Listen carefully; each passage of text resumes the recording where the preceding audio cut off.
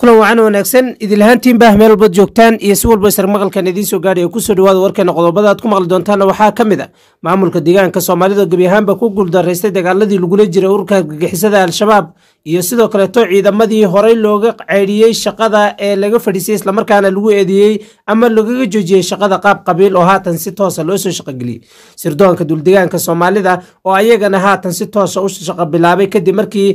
isbedelkii ku yimaaday gudaha deegaanka soomaalida ee madaxweyne mustafa maxamed cumar uu asagu gebi ahaanba sheegay in sirdoonka deegaanka loo baahnayn la isticmaali doonana midka dowladda federaalka ethoobiya oo haatan gebi ahaanba shaqadooda bilaabay arrintaasi oo dadka qaar ay u fasirteen in la rabo in lagu xasuuqo islamarkaana lagu gumaado shacabka dowladdegaanka soomaalida. Dhanka kaleeto degmada ceelkari waxaa ka socda dagaalo xoogan kuwaasi oo u dhexeeya ciidamada al-shabaab iyo sidoo kaleeto ciidamada new booliska ee dowladdegaanka soomaalida. Dadka deegaanka oonu la xidhiidna ayaa noo sheegay in dagaaladu ay si goosgoos u socdaan islamarkaana ay haatan galeen buuraleyda degmada ceelkari dhanka kalena shacabka dowladdegaanka soomaalida oo cabsi weyn la daaladhacayay tobankii beri ee u dambeysay ayaa war ka soo saaray ayagana dagaalada ka socda gudaha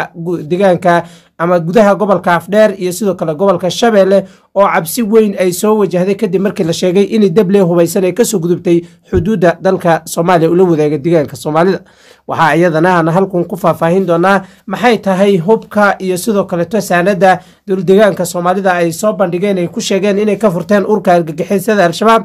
iyo sidoo kaleto qodobo kale oo xasaasi ah oo la xidhiidha dableydii hubaysnayd ee ku dhumaalaysanayso gudaha deegaanka soomaalida iyo sidoo kale dadka shacabka ee ku dhaqan deegaanka huluul oo iyagana ka dayrinayo inay jiraan walxa qarxo iyo sidoo kaleto hub khatara oo dableydii halkaasi ay uga tageen. Ayadana warkeena ayaan si weyn ugu gurfayn doonaa barnaamijka waxaa igu heliya saaxiibkay daacad balse intaas ka hor waxaa inaga codsanayaa inaad jalka sabskribe saartaan oo gaarsiisaan asxaabtiina kale. Haddii aad horey noola joogteen waad ku mahadsantihiin halkan ka sii wada daawashada barnaamijka liketa iyo sheertana ku booba aad iyo aad ba umahadsantihiin aanu ku bilowne waxaa la sheegayaa ama isa soo taraya wararka la xidhiidha in madaxweyne mustafa maxamed cumar uu si weyn ama wejigabax weyn kala kulmay dagaaladii dableyda hubaysan ay ku soo qaadeen gudaha deegaanka soomaalida. Waxaa la arkayey baarlamaanka dowladegaanka soomaalida oo su'aalo iska weydiinaya sababta iyo fashilka ku imaaday dowladegaanka soomaalida oo deegaanada ku xeeran hadday noqoto kuwa ethoobiyaanka iyo hadday noqoto kuwa soomaaliyaba ay si weyn uga cabsan jireen dowladegaanka soomaalida awoodiisa hadday noqoto dhanka ciidan dhanka sirdoonka iyo iskuduubnida shacabka iyo ciidanka. Bal daacadow adigoo soo koobaya maxay tahay fashilka intaa la eg ee ku imaada dowladegaanka soomaalida gaar ahaan madaxweyne mustafa maxamed cumar. Yacni maxay tahay sababta keentay in toban beri dagaal ama saddex beriba socday in ciidamada liyo booliska lagu jebiyo in dowladda sharafteedii ay hoos u dhacdo in baarlamaankii dowladegaanka soomaalida ay su'aalo intaa leeg iska weydiiyaan. Bal adoo soo koobaya aad baad u mahadsan tahay wacanow sidaad og tahayba dowladegaanka soomaalida waxaa ka jiray xaalado qallafsan. Soddonkii sane ugu dambeysay kadib wixii ka dambeeyey sannaddii labadii kun iyo siddeed tobankii markii ururka wanalef uu qaatay heshiis rasmi ah dowladda etoobiyan ay ku dhawaaqday ururkadii argixisada ooga rajistagaraysnaa inay ka saartay liiska argixisada waxaa imaatay yadadiilo isbeddel oo lagu doonahayey in la iskugu soo dhoweeyo shacabka dowladegaanka soomaalida iyo dowladda federaalka etoobiya iyo in ururadii wadanka ka maqnaa ay gudaha soo galaan. Shacabku arrintaasi wuxuu u arkahayey fursad weyn oo siyaasadeed iyo mid isbeddel horumar ku keeni karta iyo mid nabadgelyaba. Laakiin madaxweynaha dowladegaanka soomaalida mustafa maxamed cumar oo ahaa shakhsi inta badan aan ka fiirsanin tillaabooyinka uu qaadahayey ayaa sameeyey ficilo shacabka dowladegaanka soomaalida lid ku ah sida in uu kala diray saraakiishii ugu sarsareysay ciidanka liyu booliska iyo hay'adihii sirdoonka ee dowladegaanka soomaalida. Afartii sane ugu dambeysay dowladegaanka soomaalida wuxuu ku jiray xaalad hubaanti la'aan ah xasilooni darro ah. Shacabka deegaankuna mar walba ay ka dayrinhayeen ururada mucaaradkuna ay soo jeedinhayeen in xaaladda siyaasadeed ee waddanka ka taagan isbeddel lagu sameeyo. Sidoo kale shacabka deegaanka soomaalida waxaa ku socday weeraro lagaga soo qaaday magaalooyinka mooyaale gobolka city iyo midkan hadda ugu dambeeyey. Ee al-shabaab ay ku soo qaadeen xuduudda deegaanka soomaalida uu la wadaago gobollada afdheer iyo shabeelle ee koonfur galbeed iyo hiir shabeelle sidaad og tahayba dagaalkaasi wuxuu ahaa mid al-shabaab ay ka shaqaynaysay saddexdii sane ee ugu dambeysay. Waxaa kaloo la sheegahayaa in ay jireen dhalinyaro u dhalatay dowladegaanka soomaalida oo laga aruuriyey gudaha deegaanka soomaalida kuwaasoo tababaro macaskarnimo lagu soo siiyey gudaha soomaaliya gaar ahaan tiyeglow iyo jilib al-shabaabna ay soo diyaarinaysay muddo aad u dheer. Waxaa kaloo jiray qoomiyadaha kale ee ka soo jeeda dalka etoobiya oo al-shabaab ay si dhuumaalaysi uga qoranaysay gudaha dowlad deegaanka soomaalida. Waxyaalaha dhacdooyinka intuu dagaalka socday qabsoomay waxaa ka mid ah in nin musquul ka qodi jiray ama ka shaqaysin jiro muruqmaal ahaa degmada cadaadle uu ku biiray al-shabaab asagoo dhaawacana lagu qabtay degmada hulul ee dowlad deegaanka soomaalida. Sidoo kale dhalinyaro u dhalatay degmada ceelkari oo aad u fara badan ayaa la sheegay in ururkaasi ay ku biireen. Arrimahaas waxaa keenay kadib markii xukuumaddu ay kala erisay saraakiishii sirdoonka saraakiishii ciidanka hogaaminaysay iyo dadkii khibradda u lahaa nidaamka maamul ee dowlad deegaanka soomaalida. Dhinaca kale madaxweynuhu wuxuu ciidamo ka qoray guud ahaan deegaanka soomaalida balse ciidamadaasi ma aysan ahayn kuwo tay ahaan aqoon ahaan iyo dad ahaanba xitaa u dhisana waxay ahaayeen shakhsiyaad isagu uu soo aruursaday isagoo markaasi doonahayey in qorshayaasha asaga uu leeyahay ay u fuliyaan. Fashilkaasi wuxuu keenay in al-shabaab ay deegaanka soomaalida weerar ku soo qaado in ka badan boqol iyo konton kilomitira ay gudaha u gasho ilaa haatana la sheegayo in qaybo ka mida deegaanka soomaalida ay ku sugan yihiin. Dhinaca kalena ay ku soo qaadaan al-shabaab weeraro laba gobol oo ka mida deegaanka soomaalida sida gobolka afdheer iyo gobolka shabeelle taa kadib al-shabaab markii la iska celiyey ciidamada liyu booliska ay dhabarka u dhigteen oo ay dadaaleen dibna loo riixay waxay haddana sababtay sirdoon la'aan iyo qorsho xumo in al-shabaab mar kale ay deegaanka soo weerarto oo haddana weerarkaasi ciidamada liyu booliska ahaa ay ku baabi'iso xeradaasi ku sugnaa dhibaato ba'ana ay u geysato shacabkuna ay niyad xumo arrintaas ka dareemeen. Madaxweynaha dowlad deegaanka soomaalida wuxuu haystaa shacab iyo ciidan heegan u ah balse qorsho xumo iyo siyaasad xumo dhinaciisa ka imaatay waxay sabab u noqotay in deegaanka soomaalida xaaladiisu ay maanta tahay mid aan la isku hubi karin amni ahaanna aan u deganayn dadkuna ay cabsi badan ka qabaan. Waxa uu noqon doono mustaqbalkooda iyo jiritaankooda dambe. Aad iyo aad waxaa iyadana laga dayrinayaa marba haddii la howlgeliyey saraakiishii hore ee xilka laga joojiyey ama shaqada laga joojiyey iyo sidoo kale sirdoonka. Dadka deegaanka waxay dareemayaan cabsi la xidhiidha arrintaasi oo ay ka cabsanayaan in waxaa arkayna maalmihii ugu dambeysayba haddii aan dib aan u eegno ama dib aan u milicsano waxyaabihii ugu dambeeyey ee ka socday gobollada ay soo galeen ururka argagixisada. Waxaa si cad oo bareera loo qabanaya dadka shacabka ah ee xoolo dhaqatada ah kuwaasi oo lala xidhiidhinayo haddii la garan waayo ama yacni dadku inta badan isma garan karaan oo dadku waa dad xoolo dhaqato ah marka tuulada hadduu imaado qofkan reer baadiyaha ama baadiyaha ka imaaday tuulada markuu imaado hore ayaa laga qabanaya waan la interview garaynayaa kadibna waxaa lagu wareejinayaa laamaha amniga asagoo si xun loo garaacay oo loo jirdilay. Haatanna waxay leeyihiin haddii ay sirdoonka dalka si toosa ama sirdoonka deegaanka si toosa shaqadooda u bilaabaan waxyaabaha iyo waxyaabo lamida iyo wixii dhacayey waagii cabdi maxamuud cumar uu ahaa madaxweynaha dowladeegaanka soomaalida. Ayaa si toosa u bilaabanayay bal cabsida intaa dhan adiga ma la qabtaa? Dad aan la xidhiidhay oo ku sugan xuduudaha dowlad deegaanka soomaalida iyo dad khubara oo arrimahan deegaanka hadda ka taagan aan wax ka weydiiyeyba waxay ii caddeeyeen in xaaladda amni iyo midda xasilooni iyo rajada shacabkuba ay aad u hooseyso maadaama madaxweynaha dowlad deegaanka soomaalida oo horay u kala eriyey saraakiishii hore ee ciidanka sirdoonkii iyo cid walba oo hay'adaha amniga ka shaqaynaysay haddana si indhala-aan ah uu u soo shaqogeliyey shakhsiyaad inta badan deegaanka soomaalida dhibaato ka geystay xilligii ururka uu ka dagaalamayo gudaha dowlad deegaanka soomaalida. Shacabka xuduudaha ku sugan waxay sheegayaan in loo geystay handadaad iyo dhibaatayn iyo in la soo celiyey wixii hore ee la dhihi jiray dhafataaga ama in habeenkii markuu galo wakhtiga xaafadaha iyo magaalada iyo meelaha laga soo galoo dhan la wada istaago shacabka xoolodhaqatada ah iyo dadka aan la garanayn iyo dadka safarkaana dhibaatooyin xooggan iyo bahdilaadba loo geysanayo. Dhinaca kale waxyaalaha deegaanka soomaalida maalmahan u dambeeyey ka soo cusboonaaday waxaa ka mid a qof la qabtay oo aan la xaqiijinin inuu ka tirsan yahay ururada argagixisada iyo inuu qof shacaba yahay oo la garaacahayo kuwaas oo shacabka dowlad deegaanka soomaalida iyo dadka aqoon-yahanka ay aad u dhibsadeen. Dhinaca kale ficilada ka soo baxaya hay'adaha amniga ee dowlad deegaanka soomaalida ayaan ahayn kuwo raalli gelinhaya ama ay ku faraxsan yihiin shacabka deegaanku maadaama hay'adaha amniga loo baahan yahay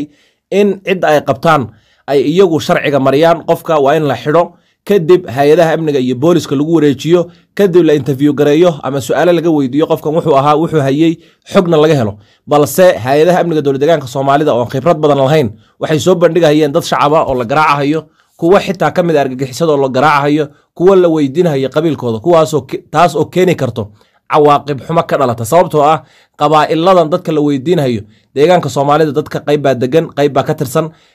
Sidaa hadda iisheeg waxyaalaha lagu baahinaya baraha bulshadana dadka soomaalidu si guud bay u dhibsadeen. Sababtoo ah hay'adaha amnigu waa in ay noqdaan kuwo tusaale wanaagsan bulshada u horseedi karo kuwo la isku halayn karo. Waxyaalaha kale ee baraha bulshada lagu faafiyey waxaa ka mid ahaa qof dumara oo la sheegay in ay soo sheegtay xubno ka tirsan argagixisada oo la yidhi waxaa loo geeyey raashin iyo mucaawino taasoo macnaheed u tahay in argagixisada loo bayaaminayo in qofkaasi ay dilaan oo shaki badanba gelisay xidhiirka ka dhexeeya hay'adaha amniga ee dowlad deegaanka soomaalida iyo ururada argagixisada ee dowlad deegaanka soo weeraray. Xogaha kale soo baxaya waxaa ka mid a xubno madaxweynuhu uu magacaabay oo ka tirsan guddoomiyaashii degmooyinka iyo maamuladii degmooyinka in lagu tuhunsan yahay inay ka tirsan yahay argixisadan marka falalka noocaasa shacabku waxay ka muujinayaan argagax waxay ka muujinayaan cabsi waxay ka muujinayaan in dhibaato badan ay u horseedi doonto. Waxayse ahayd in arrintan si caqli iyo aqooni ku dheehan tahay. Khibradna loola wadaagayo bulshada in loo falgeliyo oo laga shaqeeyo xuduudkana sidaas lagu sugo. Aad iyo aad annagu laakiin caddayn ooma hayno guddoomiyaashaasi inay ka tirsan yihiin ururada argagixisada sida adigu aad sheegtay. Laakiin haddii intaas ayna kaga gudubno waxaa iyagana isa soo tarayo walaaca laga qabo in ay xili kasta soo weerari karaan dableyda hubaysan ee ku dhumaalaysanaysa gudaha deegaanka soomaalida iyo kuwa la sheegay in ay soo gelayaan xuduudda deegaanka soomaalida ula wadaago dhanka hirshabelle bal haddii adoo soo koobayo dhankan degmada ceelkari waxaa laga sheegayaa in dableydii hubaysneed halka ku dhumaalaysanaysay ay weeraro ku dhufo ka dhaqaaqa ay durba bilaabeen. Bal arrinkaasi dowladdu wax waranba ka soo saarta. Sidii aan horeyba aad xili hore wax iga weydiisay arrimaha deegaanka soomaalida waxaa jiro xubnihii dagaalamahayey mooyaane xubno kale oo lagu beeray gudaha dowlad deegaanka soomaalida sirdoon iyo laamo kale oo al-shabaab ay ku dhex beeratay degmada ceelkari madaxweynaha dowlad deegaanka soomaalidu horey ayuu u sheegay inay jiraan xubno aas-aasan ciidamo hub lagu aasay iyo hay'ado amni oo degmada ceelkari iyo gobolka afdheer si guud ooga howlgelahayay shirka hadda ugu dambeeye baarlamaankan arrintaasi uu ka sheegay. Sidoo kale shacabka deegaanku waxay sheegayaan in deegaanada lagu magacaabo af iyo xaasle iyo masno in ay joogaan xoogaga argixisada iyo buuraha ceelkari oo ah buuro aan la geli karin. Taasna waxay sababtay in ay ilaa iyo hadda bilaabeen falal argagaxgelin ah iyo tillaabooyin u muuqata inay doonayaan in qaab jamhadeed ay uga dhex dagaalamaan gudaha dowlad deegaanka soomaalida taasna shacabka dowlad deegaanka soomaalida waxay ku abuurtay cabsi badan. Dhinaca kale inkastoo diyaaradaha etoobiya ay shalay duqaymo ka geysteen gudaha dalka soomaaliya lana sheegay in diyaaradahaasi ay beegsadeen dad shacab ah iyo ciidamada dowladda iyo kuwa liyu booliskaba iyo kuwa dowladda soomaaliyaba. Haddana waxaa jira xogo soo baxay oo sheegahaya in argixisadu mar labaad iyo mar saddexaadba ay samaynhayaan arbushaad is-abaabul iyo qorshe ay ku doonaya inay ku soo weeraraan dowlad deegaanka soomaalida. Daraad waxaa soo baxday in inta u dhexaysa matabaan iyo beledweyne ay jiraan xogo ka tirsan argixisada oo halkaasi isku aruursanayay dhinaca kale waxaan ilaa iyo hadda xog laga haynin ciidamo la sheegay inay ka soo gudbeen qudhac joome iyo inta udhexaysa ceel barde kuwaasoo maalmihii u dambeeyey ku sugnaa bohoole aweys iyo fadhi weyne oo ka tirsan degmada qalaafe ee gobolka shabeelle dhinaca kale gudaha dalka soomaaliya waxaa la sheegaya inuu jiro is-abaabul xoogan oo laga yaabo in al-shabaab ay mar ku soo gashay dowlad deegaanka soomaalida jenaraal indha cadde oo warbaahinta la hadlay waxa uu sheegay in al-shabaab saddexdii sane u dambeysay ay ku jirtay tababar ciidan laga soo aruuriyey dowlad deegaanka soomaalida iyo qoomiyadaha kala duwan ee dalka etoobiya lagana cabsi qabo in al-shabaab ay hadda leedahay cudud ciidan oo aada u xoogan taasoo sababi karto inay mar labaad iyo mar saddexaadba deegaanka soomaalida weerar ku qaataan. Aad iyo aad. Haddii aynu eegno intaa kaga gudubno wararka la xidhiira ururka al-shabaab iyo sidoo kaleeto sheegashooyinkooda iyo waxyaabaha ka dhalan kala bal dhinacan kaleeto canfarta weeraro kala duwan ayay ku soo qaadayeen gudaha deegaanka soomaalida. Waxaan arkayna madaxweynaha dowladdeegaanka canfarta oo ku furimaha hore ee dagaalka. Arrintan dowladdeegaanka soomaalida ilaa iyo haatan wax wara kama aysan soo saarin. Intaanu ognahay maxay keeni karaan ama canfar maxay tahay sababta ka dambeysa inay weerar ku soo qaadaan dowlad deegaanka soomaalida? Sidaad og tahayba gobolka city ee deegaanka soomaalida waxaa ka jiray xaalad xooggan oo colaadeed. Saddexdii sane ee ugu dambeysay waxaa jiray dhul soomaalidu ay leedahay oo canfartu ay soo weerartay. Waxaa jiray shacab ilaa saddex boqol ka badan oo canfartu ay laysay saraakiil ciidan iyo ciidamada ka tirsan shacabka dowlad deegaanka soomaalida iyo dadyow kaleba sidoo kale canfartu waxay weli gacanta ku haysaa magaalada garbaciise oo ahayd magaalo soomaaliyeed oo saddex boqol oo qof markay ku dileen laga soo qaxay. Wararka hadda soo baxayana waxay sheegayaan in si maalinla ah canfartu ay dagaal ugu soo qaado dowlad deegaanka soomaalida aagaana ay xasuuq iyo dhibaato in aad u xoogan ka geysato iyagoo garab ka helaya ciidamada liyu booliska ee deegaanka canfarta iyo hay'adahooda sirdoonka iyo madaxweynaha dowlad deegaankaasi oo isagu doonahayo in dhul soomaaliyeed uu ku darsado gobolka canfarta ee dowlad deegaankaasi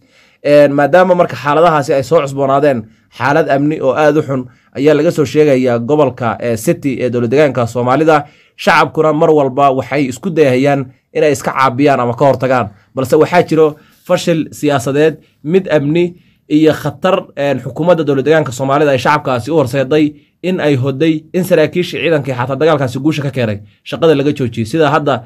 howlgeliyihii guud ee ciidanka liyu booliska oo lagu magacaabi jiray kadambir kadib markuu guulo waaweyn ka keenay dagaalkii lagula jiray canfarta xukuumadda dowlad deegaanka soomaalida uu hogaaminayay madaxweyne mustafa maxamed cumar wuxuu ka joojiyey shaqadii. Taana waxay keentay in shacabka iyo hay'adaha amniga aysan helin kalsooni rasmi ah oo ay kula dagaalamaan deegaankaas. Sidoo kale waxaad moodaa in xukuumadda dowlad deegaanka soomaalida uu u cad yahay dagaalka lagula jira dhinaca al-shabaab balse canfarta weerarka ku dowlad deegaanka soomaalida uusan u caddayn taasoo ah in madaxweynuhu uu ka cabsan hayo xukuumadda federaalka etoobiya uu hogaaminaya abiy axmed iyo maamulka canfartaba. Taasoo u muuqato gumaysiga bulshada soomaalida lagu hayo in uu yahay mid soo jireena oo xitaa haddii bulshada soomaalida hib ka dhigto nabadna ay qaadato. Aan baaba-ayn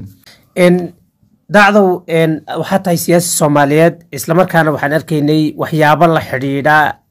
in dowladdu ay soo bandhigtay hub la sheegay in la qabtay xilligii madaxweynihii hore cabdi maxamuud cumar. Sidoo kaleeto howlo badan ayaan ka soo sheekeynay oo la xidhiidha amniga iyo sidoo kale dulduleelada dowladda deegaanka soomaalida ay leedahay. Bal adoo soo koobayo sidee looga bixi karaa maxayse tahay hubkan iyo waxaan la soo bandhigay sidaad og tahayba xukuumadda dowlad deegaanka soomaalida uu hogaaminhayey mustafa cagjar oo ku fashilantay amniga iyo siyaasadda dowlad deegaanka soomaalida iyo maaraynta khataraha ururada argixisada ay ka geysan karaan xuduudaha dowlad deegaanka soomaalida. Tan iyo intuu dagaalku bilowday waxay soo bandhigahayeen been iyo kutirikuteen isdaba joog ah kuwaas oo ay ku lahaayeen madaxweynuhu wuxuu dagaalka ku galay. Furinta hore kol ay lahaayeen diyaarada helikabtaruhu kaga degay kolna ay soo bandhigahayeen sawiro xilli hore la qaaday. Haddaba xalay baraha bulshada waxaa si weyn loogu baafiyey sawiro la qaaday labadii kun iyo shan iyo tobankii xilligaas oo cabdi maxamuud cumar uu ka talinayay dowlad deegaanka soomaalida. Kuwaasoo iskugu jiro mootooyin baangado qoryo waaweyn iyo maxaabiis. Sawiradan ayaa la sheegay inay ku kaydsanaayeen warbaahinta dowlad deegaanka soomaalida. Balse horey waxaa looga sii daayey telefishinka qaranka dalka etoobiya sanadii labadii kun iyo shan iyo tobankii taasoo u muuqata in weli marin habaabintii iyo jahwareerintii iyo habacsanaantii amni ee dowlad deegaanka soomaalida ka jirtay in xukuumaddu ay weli ku sii indhacaddahay oo aysan doonaynin inay shacabka runta iyo xaqiiqada jirta ay la wadaagto maadaama ay ku fashilantay sugidda amniga dowlad deegaanka soomaalida. Marka xukuumaddan dowlad deegaanka maanta ka talinayso tabarteedii waxay ku soo aruurtay brobagando been iyo kutirikuteen aan waxba ka jirin taas oo weliba khalkhal sii gelin doonto amniga dowlad deegaanka soomaalida. Aad iyo aad baa umahadsan tahay waan kaa mahad celinaya daacad waktiga aadna siisay iyo sidoo kaleeto falanqaynta aanu ku eegeynay xaaladihii ugu dambeeyey dowlad deegaanka soomaalida. Guud ahaan intaasi ayaanu ku soo koobaynaa. Dawadayaal idinkana waa idinka mahad celinaya daawashada iyo garab istaaga iyo si kasta oo aad noo garab joogtaanba. Guud ahaan intaasi ayuuna naga dhaya intaan barnaamijkan kan xeeg ku kulmi doono waxay naga tegay sidaas iyo ammaan alla